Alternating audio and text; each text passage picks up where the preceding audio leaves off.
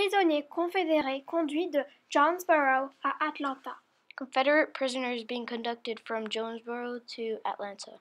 est une œuvre de Kara Walker qui appartient au musée d'art d'Harvard. On peut voir le portrait, en fait la silhouette d'un homme. sur une gravure représentant une scène de la guerre civile américaine. Jonesboro a été une bataille en août 1864 et gagnée par l'Union. Kara Walker est une artiste américaine. Elle est née à Stockton, en Californie, le 26 novembre 1969.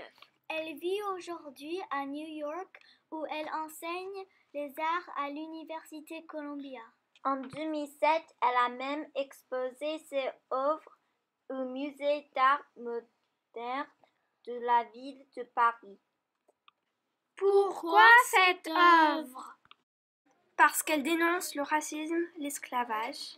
Et nous avons participé à la semaine De lutte contre le racisme et les discriminations.